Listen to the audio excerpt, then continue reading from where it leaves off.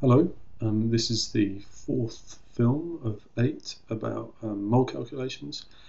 Films four to eight all deal with stoichiometry, so that is uh, calculations that are based on balanced equations and the mole ratios that we can get from them. And we're going to start off by looking at calculations that involve mass, because most people are more familiar with mass calculations than they are with others, so this is probably a good place to start. Okay. We're going to refresh our memory of the equations that we use to convert mass into moles and we're going to do a couple of practice calculations. Alright, here are the most important symbols that we use when we're dealing with masses and a couple of equations too.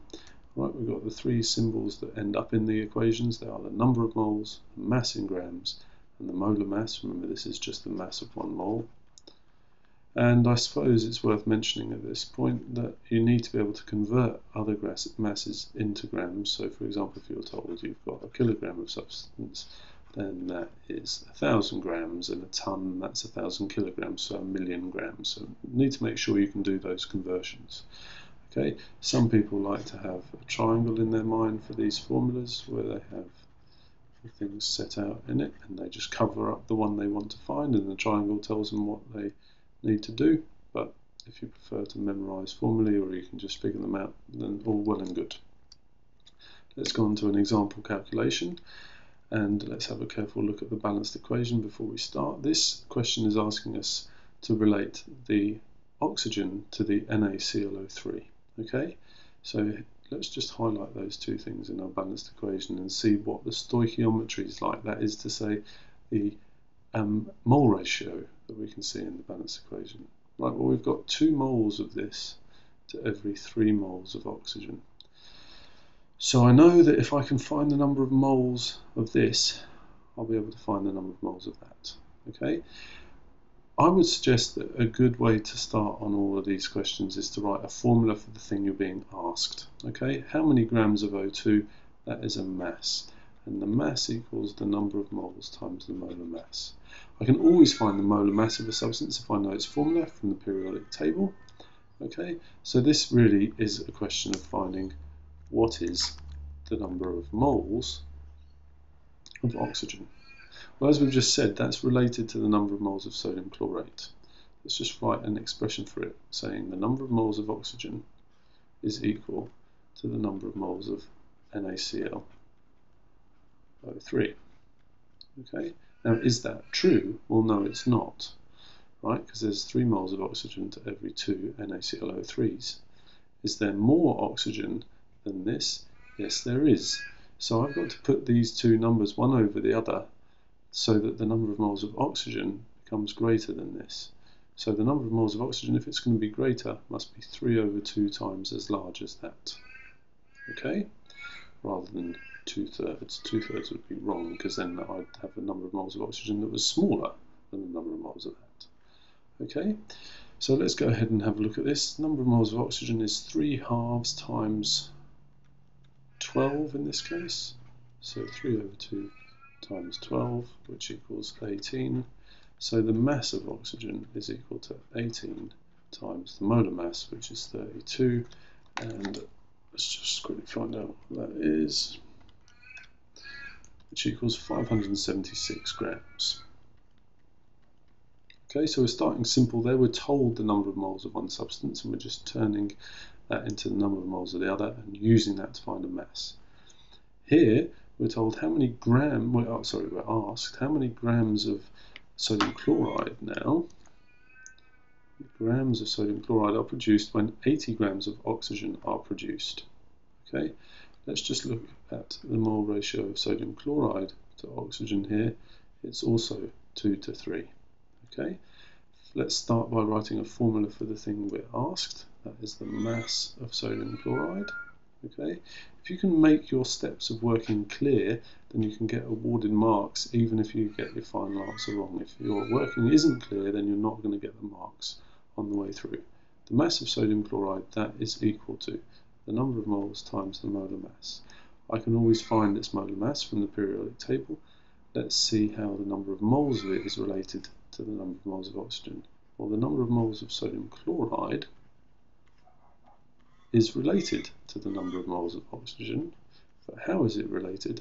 Well, there's less of it than there is of oxygen. So two thirds rather than 3 over 2, which in this case, I don't know yet know. So I've got to find the number of moles of oxygen, the number of moles of O2. I know a formula for that, that's little m over big M, which in this case equals 80 over 16. 80 divided by 16 is 5. Should be able to do that in your head, but I didn't. And um, so we know the number of moles of oxygen. So the we know the number of moles of sodium chloride because um, two thirds of five. So the number of moles of sodium chloride is two thirds times five because that's the number of moles of oxygen, which is 3.33. Okay, and finally we just say that the mass of sodium chloride is the number of moles times the molar mass, which so the mass equals 3.33 times what's sodium chloride. Look them up in the periodic table. It's 22.99 plus 35.45, is it? Yeah, 45 chlorine, and that equals so 22.99 plus 35.45 equals, and then multiplied by 3.3333, and that equals 194.8 grams. Okay, so there's two stoichiometry questions done for you there. Here's another one um, using a different equation. Let's just quickly rattle through this because we know the principles now. Right, we are dealing with a reaction in the blast furnace. We're told we've got 25 kilograms of Fe2O3, 25 kilograms of that, and we're asked how many kilograms of iron can we form? This is a question that is asking us the mass of iron.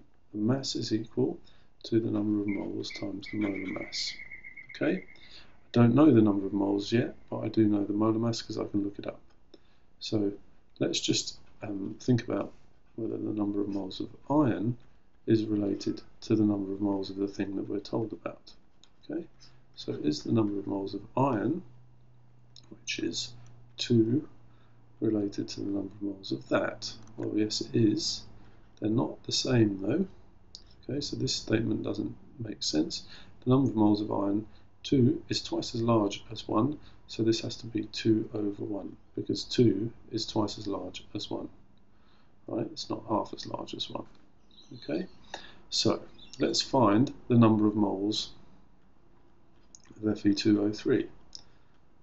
Well, that equals the mass over the molar mass, which is 25,000, because we've got 25,000 grams, divided by 2 times 55.85, added to 3 times 16. Okay, so we'll find the bottom first. Okay, so that's uh, 2 times 55.85 plus 48. That's 25,000 over 159.7 okay 25,000 divided by that so equals 156.5 moles. Okay so we now know um, the number of moles of Fe2O3 we know that the number of moles of iron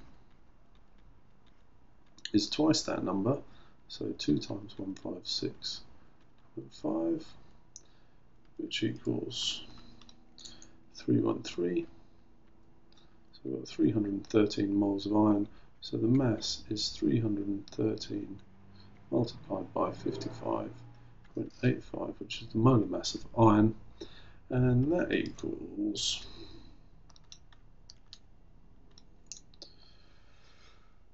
17.5 kilograms or 17,500 grams. Okay, so there's my final answer. Okay, I've gone, um, I suppose I've gone zigzagged a bit. Okay, I've not gone down in one sequence of steps because I ran out of space on the page. Okay, but every time I'm doing something, I'm writing an expression for what I'm trying to calculate. So try and get into that habit to make your working clear. All right, as usual with mole calculations, the same old message.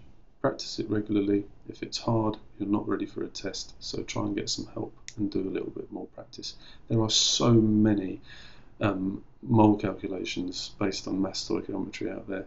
You've just got so much stuff you can practice. So um, get some practice in.